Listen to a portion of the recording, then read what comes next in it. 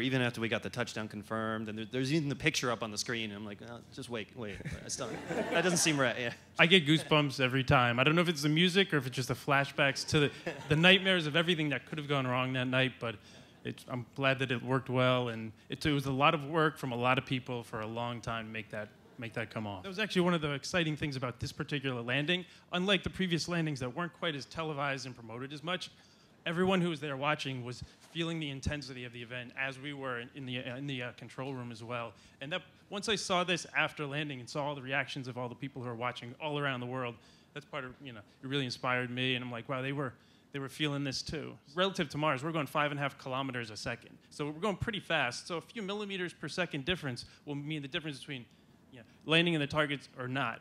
And basically, the, uh, the air that we had on the surface was only a few hundred meters. And that's after the three and a hun- three, 350 million mile trip to, to Mars. Yeah, I think the, anal- the analogy, if I remember correctly, is something like a quarterback here throwing a ball to the receiver in like Florida. Right. And, hitting that mark. And landing on home plate, but just just off to the center of home plate. I was wondering, like, what was it like for you in high school? Were you picked on, like, being? Because I'm sure you were pretty smart, and know, like, did you do well? And then, like, now that you're making science and math and engineering and technology cool, like, what would your advice be for like high school students? Uh, I will. I will start to say I am not. I was not particularly the best student in high school. Um, I'm very fortunate to uh, have slowly improved with time. Um, math was not actually ever my strength. Uh, no, I mean, I, I was I was picked on in school not so much for being nerdy, I think, as um, I had. I'm you know I'm an Iranian American, so I had trouble in school mostly being an Iranian American, not for I think for being nerdy. Um, it probably helped that I wasn't particularly large and easier to pick on.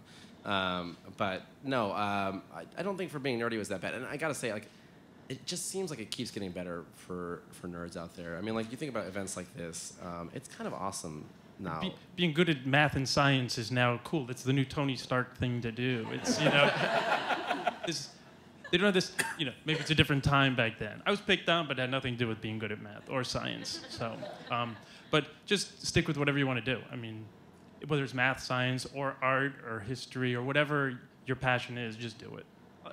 One of the things that JPL has a history of is the Lucky Peanuts. It's a story that back from the 1960s when all of the Ranger missions were failing and failing. Rangers the, one through six. The, yeah. We're trying to get to the moon with, and they were just having trouble. Um, one day they had, a, when they had their failure, were, one of the engineers joked, it must have been the peanuts that engineer engineer so and so was eating. And so from that point on, at all the critical events, they, they cracked open the Lucky Peanuts, whether it was a launch or future landings or orbit insertions to different planets. And which is a contradictory to engineers, which are all about logic and reason. but we're not going to tempt the fates. So it was just a long history. So for all the critical events, including Curiosity landing night, we basically had the Lucky Peanuts.